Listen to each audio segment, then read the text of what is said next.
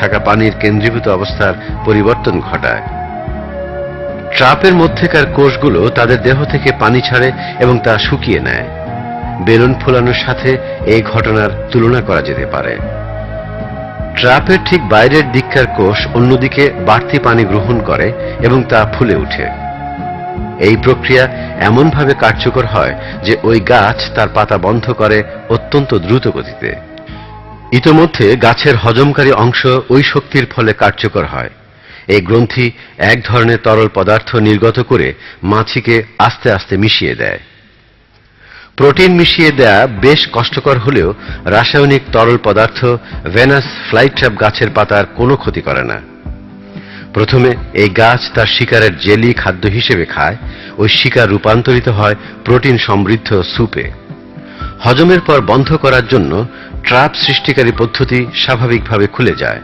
আবার তা বন্ধ হওয়ার জন্য। ট্রাপ বন্ধ করার জন্য শুধু প্রয়োজন একের পর এক দুবার স্পর্শ। এই দ্বিবিধ কার্যপদ্ধতির জন্য মাছের এ জাল বা ট্রাপ কখনো কোনো উদ্দেশ্য ছাড়া বন্ধ হয় না। দৃষ্টান্ত স্বরূপ বলা যায়, পাতার উপর বৃষ্টির ফোঁটা পড়লে তা বন্ধ হয় না। এখানে সবচেয়ে গুরুত্বপূর্ণ বিষয় হল, কৌশলী এই শিকারীর কোনো ব্রেইন বা সমজাতীয় কোনো গঠন কাঠামো নেই এবং সে কারণে তা চিন্তা করতেও সক্ষম নয়। এটা নিশ্চিত যে ওই গাছ তার কৌশলপূর্ণ গঠন কাঠামো সম্পর্কে সচেতন নয়, অথচ ওই গঠন কাঠামোই তাকে শিকার করতে সাহায্য করে। এই গাছের প্রতিটি বিষয়ের বিস্তারিত বিবরণ স্পষ্টভাবে যথার্থ অবস্থান, জ্ঞান ও পরিকল্পনার কথায় নির্দেশ করে। এসব পরিকল্পনার উৎস সমাপতন বা স্বাভাবিক ঘটনা দিয়ে ব্যাখ্যা করার প্রশ্নই আসে না।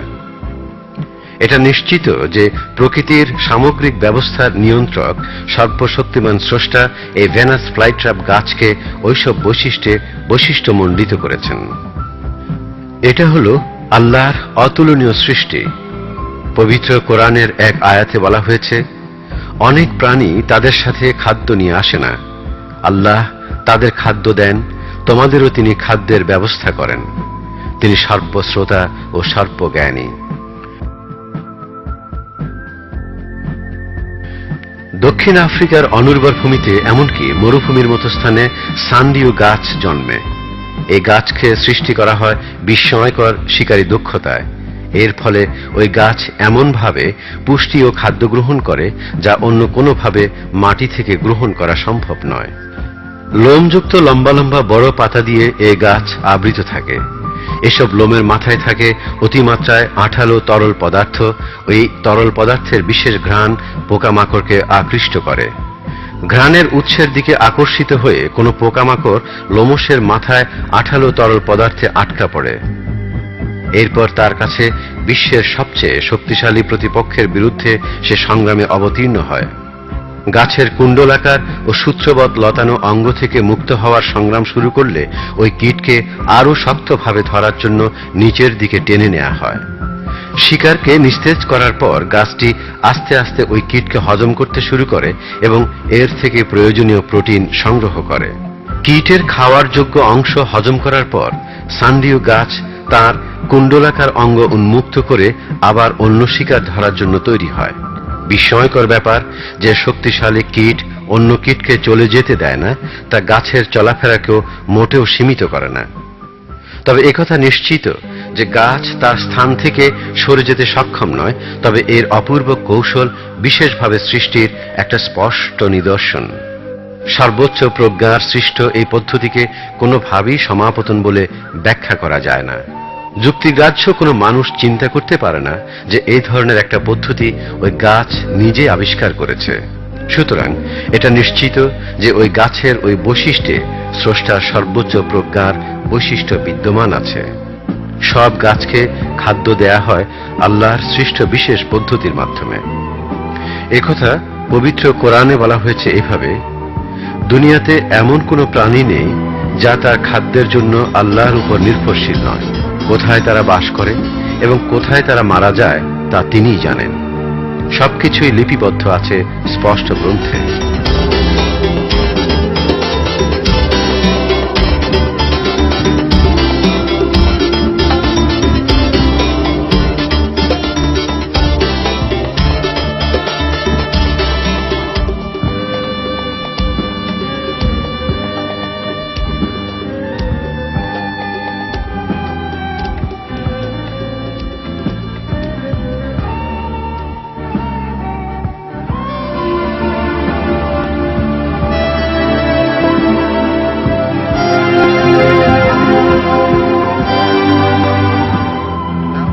দৃশ্যটা এখন ভালো করে দেখুন। একটা গাছ পাখি বা একটা বন্য অর্কিড বা কয়েকটা শুকনো পাতা ছাড়া আর কিছুই কি দেখতে পাচ্ছেন? আরও কাছে থেকে দেখুন এক বিস্ময়কর দৃশ্য।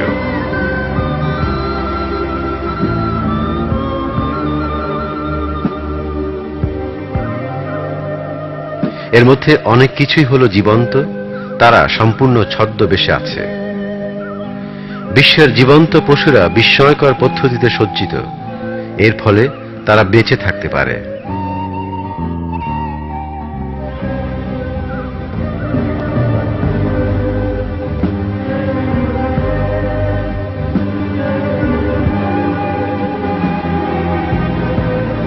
ছদ্মবেশ ধারণ হল এই ধরনের একটা পদ্ধতি, যার মাধ্যমে পশুরা শত্রুর হাত থেকে নিজেদের রক্ষা করতে পারে।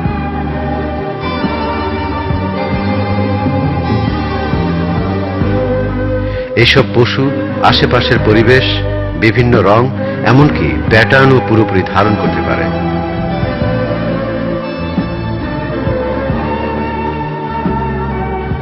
অনেক ছদ্মবেশী পশু বালুময় মরুভূমিকে ঢাল হিসেবে ব্যবহার করে শত্রুর কাছ থেকে নিরাপদে থাকার জন্য।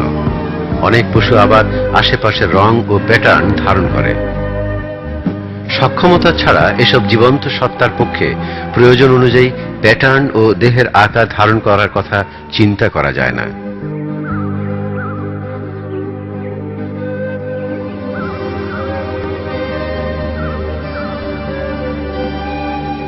আকাশ ও পৃথিবী এবং এ দুইয়ের মাঝখানে যা কিছু আছে, তার প্রভু, সৃষ্টিকর্তা, আল্লাহ নিশ্চিতভাবে এসব প্রাণীকে বিশেষ বৈশিষ্ট্য দিয়ে সৃষ্টি করেছেন।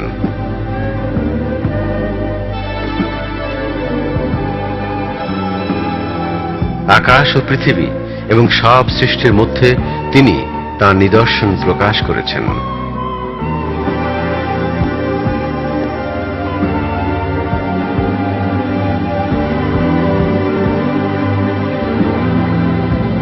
এই ধরনের একটা প্রাণী হল শুয়োপোকা।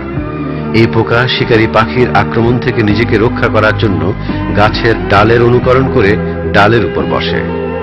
গভীর অরণ্যের পাতার মধ্যে তারা সফলভাবে নিজেদের লুকিয়ে রাখে।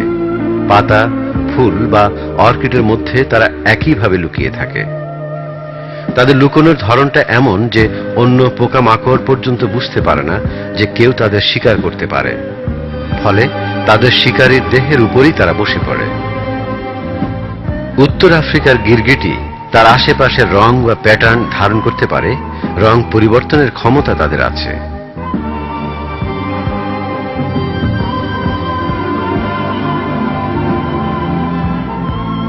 অনেক সাপ শিকার ধরার জন্য বালির মধ্যে লুকিয়ে থাকে। সমুদ্রের মধ্যে অনেক প্রাণী ছদ্মবেশে থাকে। শ্যাওলা ও পাথরের সাথে সংযুক্ত গুল্মের সাথে মিশে থাকার পর তাদের আর চেনা যায় না। এই ধরনের একটা প্রাণী হল আমাজন লিপফিশ। সমুদ্রের তলা থেকে সাঁতার কেটে উত্থিত পাতার মধ্যে তা নীরবে লুকিয়ে থাকে। সে তার শিকার ধরার জন্য অপেক্ষা করে।